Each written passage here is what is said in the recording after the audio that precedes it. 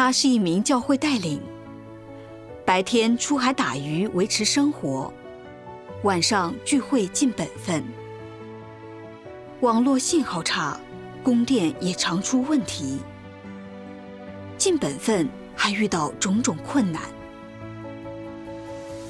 面临这些困境，他是如何依靠神经历的？经历过后，他又有哪些不一样的收获？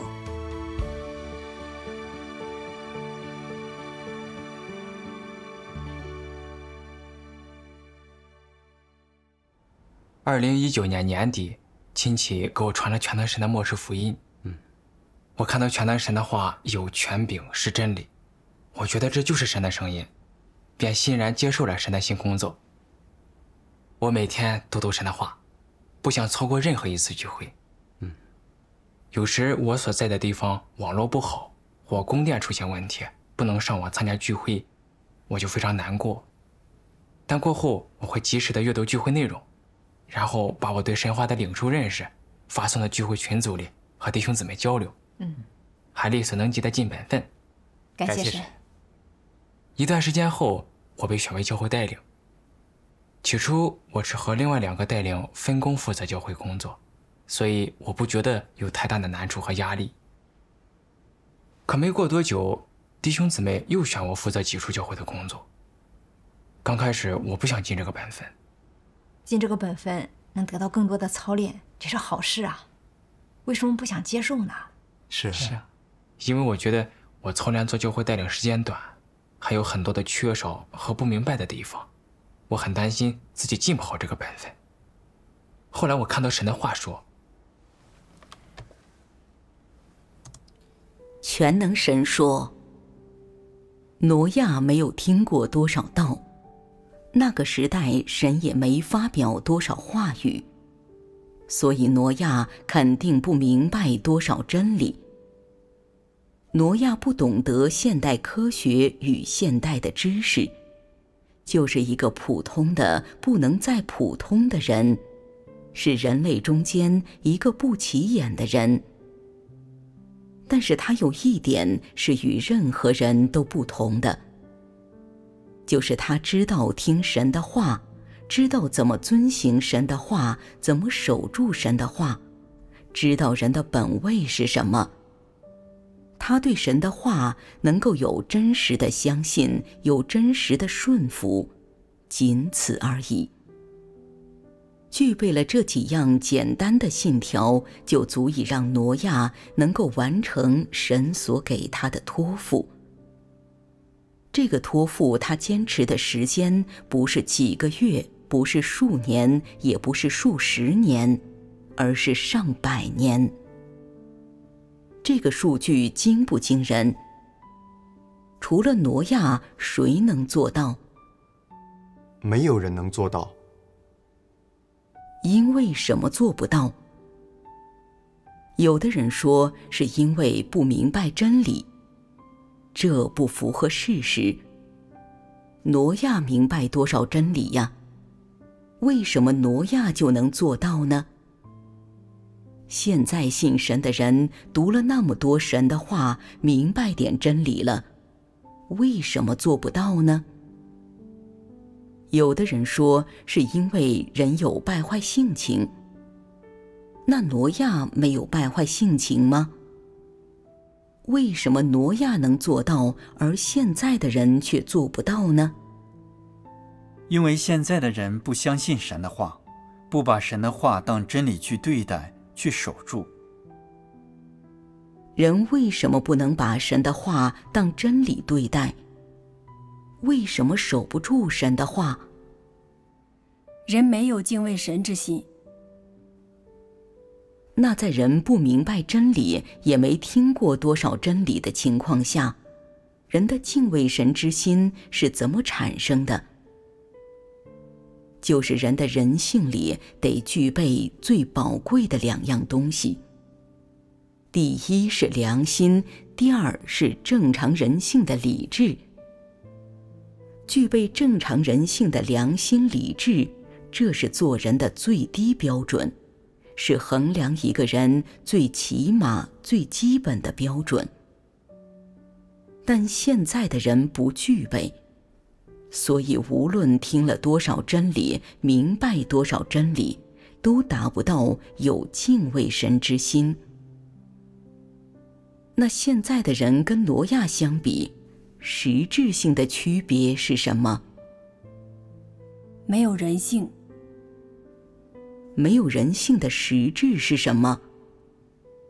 是畜生、魔鬼。畜生、魔鬼虽然比较难听，但符合事实。说的文雅一点儿，就是没有人性。没有人性、没有理智的人就不是人，连畜生都不如。挪亚能完成神的托付，是因为挪亚听见神的话就能牢记于心，把神的托付当作终身大事来办，坚信不疑，一百年不变心。就是因为挪亚有敬畏神的心，是真正的人，是最有理智的人，所以神才把造方舟的事托付给他了。像挪亚这么有理智的人太少了，很难找到第二个。阿门。阿门。挪亚对待神托付的态度，真是值得我们效法呀。是啊。挪亚没有听过高深的道。也不明白多少真理，但他有一颗敬畏神的心，对神有顺服。当神告诉诺亚将用洪水毁灭人类，并让他建造方舟时，诺亚没有犹豫的就接受了。诺亚意识到神交给他的托付啊，并不是一项容易的任务，因为要造方舟就得砍树取材，还得有准确的尺寸。虽然工程浩大，难度也大，但诺亚没有退缩。因为他知道这是神给他的托付，是是啊，他相信神既然给他这个任务，就会引导帮助他，所以凭着信心依靠神完成了这个托付。是是啊，揣摩着神的话，我意识到我没有像挪亚那样的人性理智。当带领让我负责技术教会的工作时，我对神没有信心，我只相信自己的才能。我觉得自己的工作能力有限。操练做教会带领时间短，还有很多的缺少，担心自己做不好，就不愿意接受这个本分。我没有像挪亚那样相信神，也没有一颗顺服神、敬畏神的心，更不具备挪亚的人性理智。认识到这儿，我不再担心，我愿意像诺亚那样顺服下来，接受这个本分。阿门。然而，当我开始做工作后，我又遇到了新的难题。我发现我有很多的工作要做，比如需要掌握教会中弟兄姊妹的情形，要扶持不正常聚会的弟兄姊妹，还要了解弟兄姊妹近本分中的难处，跟他们交通解决，帮助他们学会如何尽本分等等。这些都是我必须担负起来的。是啊。面对这些问题，我感到无从下手。我不知道怎样才能做好这个工作，我感到非常有压力。这些难处使我变得消极。我只想告诉戴玲，我觉得自己不适合尽这个本分，因为我没有经验，尽这个本分有很多的困难。后来带领发现了我的情形，就给我发神的话帮助我。我看到神的话说：“嗯，全能神说。”当初神差派摩西带领以色列人出埃及，神给摩西这样一个托付，摩西有什么反应？他说他拙口笨舌，不会说话。他就有这么一点顾虑。他说他猪口笨舌，不会说话，但他对神这个托付有抵触吗？他是怎么对待的？他就俯伏下来了。俯伏下来代表什么？就是顺服接受了。他全人扑倒在神面前，没有个人的选择，有难处也不提了。神让怎么做就赶紧去做。为什么他在觉得自己什么也不能做的情况下，还能接受神的托付呢？因为他心里有真实的信心，他对神怎样主宰万事万物有一些经历了。这四十年的经历使他认识到神的主宰是全能的，所以他就爽快地接受了神的托付，二话不说就去办神托付的事了。这个“去”代表什么？代表他对神有真实的信，有真实的依靠，也有真实的顺服。这里没有胆怯，没有选择，也没有拒绝，而是完全相信，带着满满的信心，带着神的托付去办事了。他相信，只要神托付了，这一切就都能像神所说的那样成就。神让我把以色列人从埃及带出来，那我就去。既然是神托付的事，那神就要做事，神也会加给人力量，人只是配合。摩西有这个看见。当时那个环境对以色列人、对摩西都不利，在人看带领以色列人出埃及就是不可能的事，因为还有红海隔着。要过红海，那是难上加难。摩西难道不知道完成这个托付的难度有多大吗？他心里知道，但他只是说自己拙口笨舌，没有人能听他的。他心里并没有拒绝神的托付。当神告诉他去把以色列人带出埃及。他就俯伏接受过来。他为什么不提这些难处呢？是不是他在旷野四十年，不知道人间险恶，不知道埃及发展到什么地步了，也不知道以色列人现在是什么情况，都看不透这些事了？是这样吗？绝对不是。摩西有聪明智慧，人间这些事他看过、经历过、体验过的，他都知道，他一生都忘不了。这些事他太清楚了。那神给他的这个托付难度有多大？他知不知道？知道。他知道，怎么还能接受神的托付呢？就是因为他有信心，他累积了一生的经历，他相信神的全能，所以他就能信心满满的接受这份托付，没有丝毫的疑惑。你们说，摩西在旷野四十年的经历，他能不能体会到，在神没有难成的事，人是在神的手中？太能体会到了，这是他最真实的体会，因为他在旷野四十年，涉及到生命危险的事太多了，他不知道自己能不能活下去，每天就是求生、求神保守，只有这一个愿望。在这四十年中，他对神的主宰、神的保守体会最深。所以，他后来在接受神的托付时，第一个感受肯定就是：在神没有难成的事，神说能成，肯定就成。既然神给这样的托付，那神肯定要做这事，是神做，不是哪个人要做。人要做什么事，得提前计划、预备，做好准备工作。神做事用得着这些吗？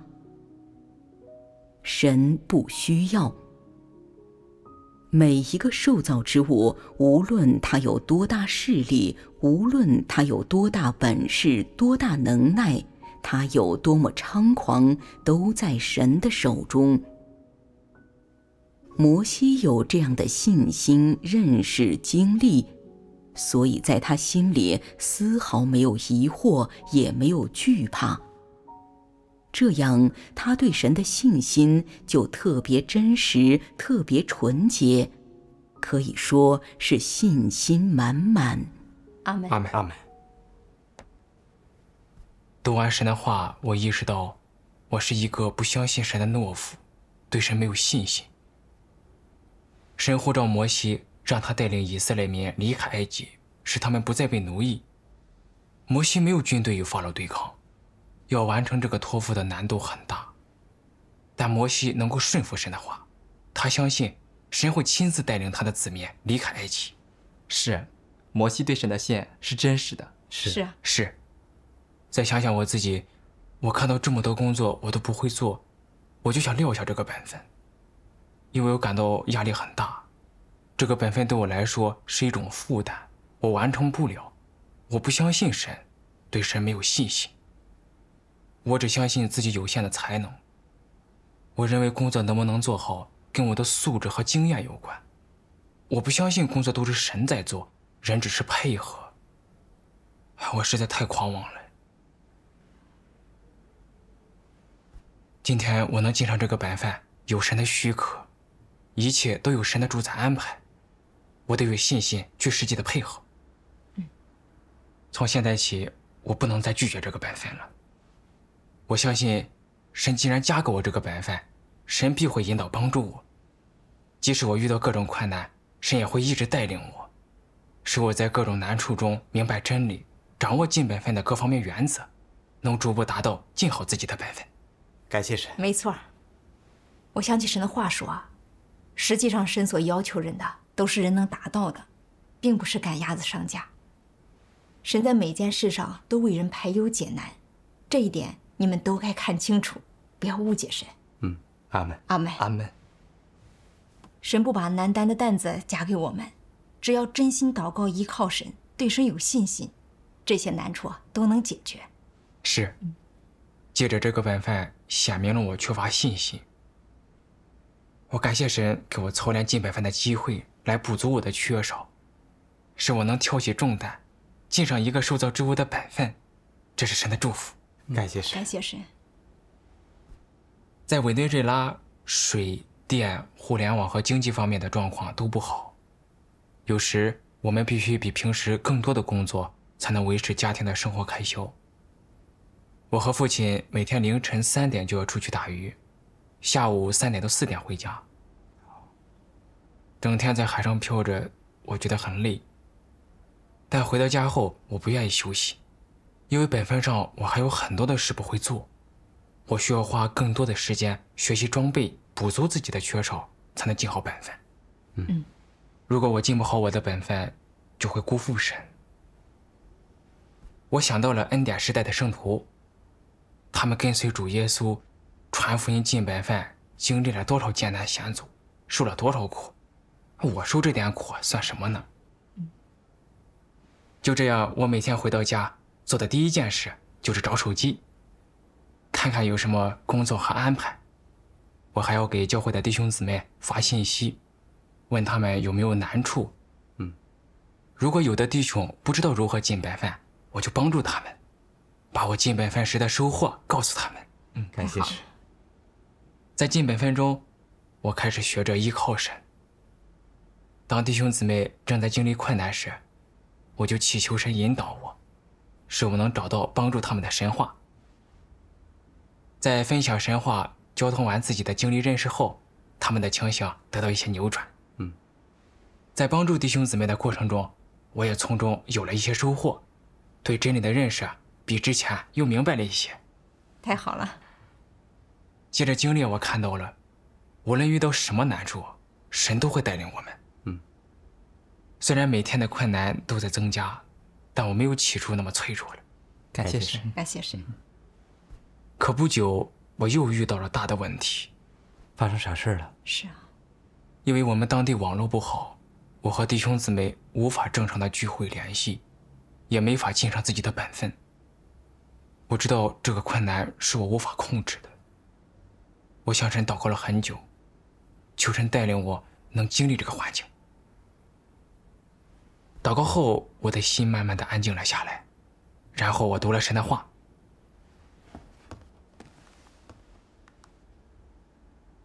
在你最难的时候，最摸不着神的时候，在你最痛苦、最孤独的时候，在你觉得好像远离神的时候，你最应该做的一件事是什么？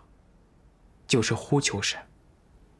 你呼求神就有力量，呼求神，你就能感觉到神的存在；你呼求神，就能感觉到神的主宰；你呼求神，祷告神，把你的命交在神的手中，就能感觉到神就在你身边，神没有离弃你。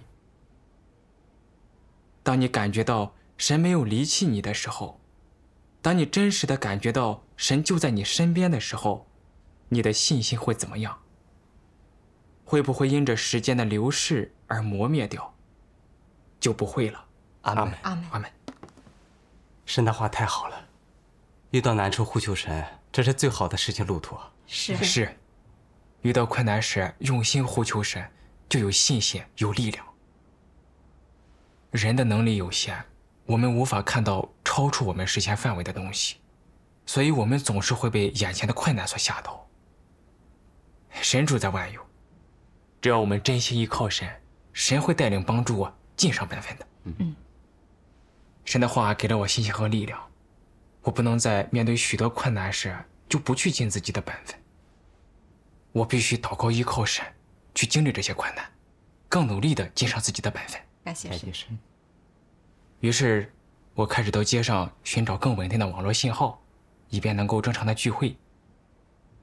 有时我要主持一个聚会，我会在晚上八点上街，聚完会大概十点半到十一点回家。走在回家的路上，我感到很害怕，因为我住在玛格丽塔的一个危险街区。我害怕有人抢走我的手机，那样我就不能再聚会尽本分了。我经常向神祷告，愿神加给我力量，使我能在困难中坚持住。嗯。不久后，我收到一个好消息。一个弟兄了解到我的情况，就主动给我发消息说：“弟兄，我知道你正在经历困难时期，你为了尽本分，直到深夜还在街上走，这是非常危险的。我有一辆自行车，我可以在你需要的时候借给你，这样你出行能够更方便。”感谢神，感谢神呀！在困难中，我学到了很多东西，也学会了依靠神。我认识到神就是主宰万物的那一位，也是为每一个人摆设环境的那一位。在经历中，我时时积极的看到了神的作为，对神更有信心了。嗯。当弟兄姊妹遇到与我相似的困难时，我就给他们分享神话，并交流自己的一点经历，帮助他们，让他们对神有信心。感谢神，你的经历让我很得益处。嗯。我以往尽本分，就怕遇到难处。现在明白了，神是要借着这个难处来成全我对神真实的信心与依靠啊！感谢神。是。每天捕鱼回家后，我就待在家里读神的话。当要聚会的时候，我就骑着自行车到街上找一个网络好的地方。